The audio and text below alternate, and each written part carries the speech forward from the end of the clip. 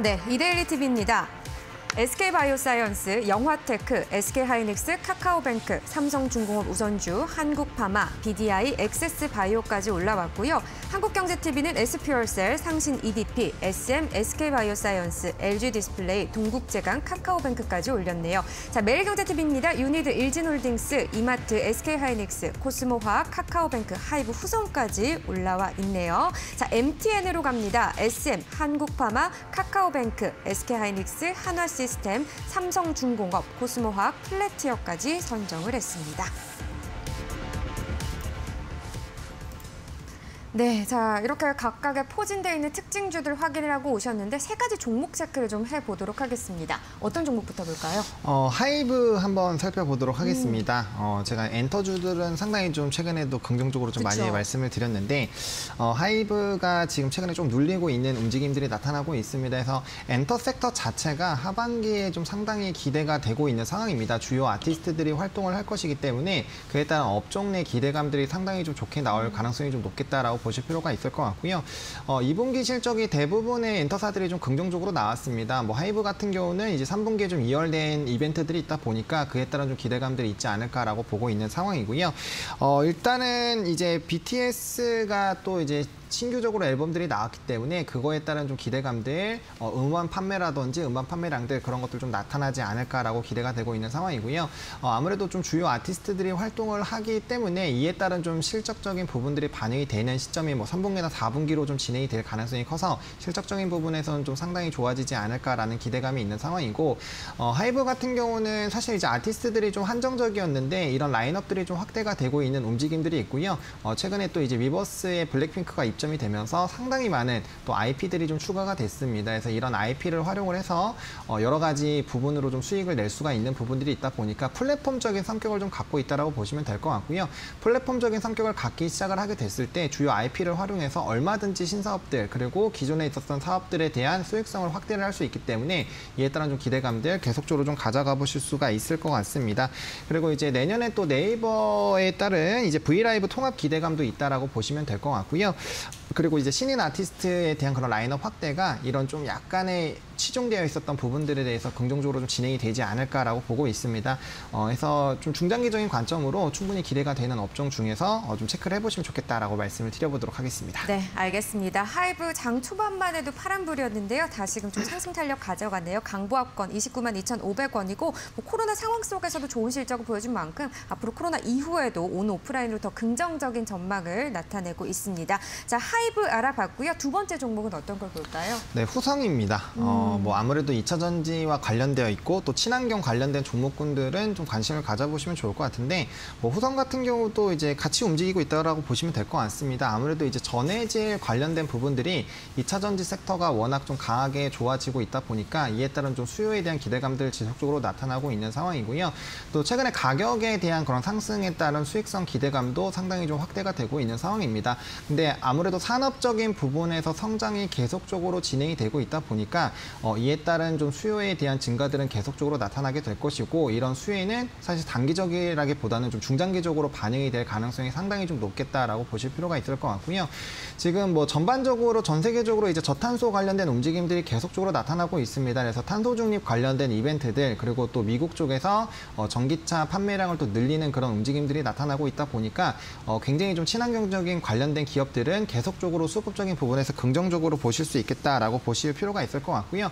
또 미 행정부에서 또 연료 연비 관련된 부분들에 대한 규제를 또 부활을 시켰기 때문에 어, 이에 따른 좀 가속화는 보다 더 강하게 나타나지 않을까라고 보고 있습니다. 그리고 3분기부터 이제 중국 쪽에서 증설을 했었던 그런 부분들이 반영이 될 것으로 기대가 되고 있는데요.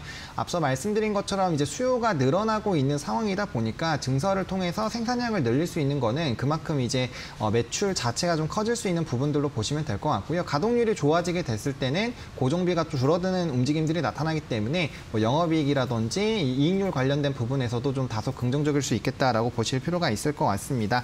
그리고 실적에 대한 부담감들이 살짝 있었었는데 이에 따른 업황 호황에 따른 실적 턴어라운드가 상당히 좀 기대가 되고 있다 보니까 어, 이런 부- 실적에 대한 부분들도 사실 이제 단기적으로 단발성으로 좋아지기보다는 업황 자체가 굉장히 좋아지고 있다 보니까 중장기적으로 점진적인 성장이 좀 기대가 되고 있다라고 말씀을 드려보도록 하겠습니다. 있습니다. 그렇다면 오늘 그 2차 전지 쪽에서 반등 흐름이 나온 것은 어찌 됐든 지금 추세적 반등이 아니라 그런 긍정적인 성장 모멘텀을 가지고 있는 거라서 지금 접근하는 것도 굉장히 긍정적으로 보시는 거네요. 네, 물론 사실- 오늘은 좀 많이 오르긴 하지만요. 아, 그렇죠. 예, 중장기적인 관점으로 봤을 때는 충분히 편입이 가능하다라고 생각을 하고 있습니다. 뭐 에코프로 이런 좀, 뭐 후성뿐만 아니라 뭐 에코프로나 에코프로비움 상당히 높게 좀 주가가 올라와 있는데 저는 그럼에도 불구하고 그 종목군들도 중장기적인 관점으로 본다라면은 더욱더 상승을 할 수 있다라고 보고 있고요. 그거는 이제 전 세계적으로 친환경 기조들 그리고 이제 전기차 기존에 있었던 이런 차량들이 친환경 차량으로 변화가 됐을 때 그런 시장들을 생각을 해본다라면은 어, 충분히 성장 가능성은 충분하다라고 생각을 하고 있습니다. 네, 알겠습니다. 지금 현재 6%대 강세네요. 14,500원 흐름 같이 좀 확인을 해보시면 될 것 같고요. 후성입니다. 다음 종목은요? 어, 이마트입니다. 이 종목은 상당히 좀 중장기적인 관점으로 보셔야 되는 종목인데 어, 사실 이제 이마트가 플랫폼적인 성향을 이제 좀 가지 지 않을까라고 보고 예. 있습니다. 그래서 플랫폼으로 성장을 하게 됐을 때 아무래도 그런 관련된 IP를 활용해서 충분히 좀 많은 사업군들 영위를 할 수 있다라고 보시면 될 것 같고요. 이제 플랫폼 관련된 부분에서 항상 설명드릴 때 아마존을 좀 많이 말씀을 드리고 있습니다. 아마존이 어, 이제 플랫폼으로 시작해서 전 부분들을 다 이제 잡아 먹었던 것처럼 이마트도 이런 스타컴부터 시작을 해서 이런 플랫폼적인 성향이 강해지고 있다 보니까 기대감 확대가 되고 있겠다라고 보실 필요가 있을 것 같고요.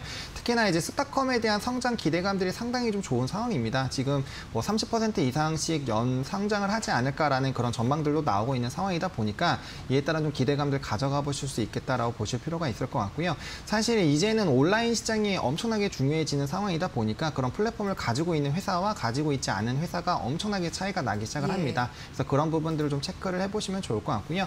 온라인적인 부분들의 그런 매출 성장 그리고 자회사들에 대한 그런 견조한 성장들 그리고 주력 사업들이 지금 잘 진행이 되고 있다 보니까 어, 실적적인 부분도 상당히 좀 긍정적으로 나왔습니다. 그래서 그런 뭐 실적적인 부분들 그리고 앞으로의 온라인적인 성장들 뭐 이런 부분들을 보셨을 때는 충분히 좀 중장기적인 관점으로 어, 접근이 가능하지 않을까라고 좀 말씀을 드려보도록 하겠습니다. 네, 알겠습니다. 자, 이마트 얘기를 나눠봤는데요. 지금 현재 약보합권 흐름 나타내고 있네요. 오늘 혼조세 흐름이고 17만 6,500원대 흐름인데 자, 이마트 얘기를 하면서 지금 현재 또 공시 내용 나온 게 있어서 잠깐 이 부분도 좀 언급을 하고 넘어가면 좋을 것 같아요. 뭐 이마트 관련은 아니고요.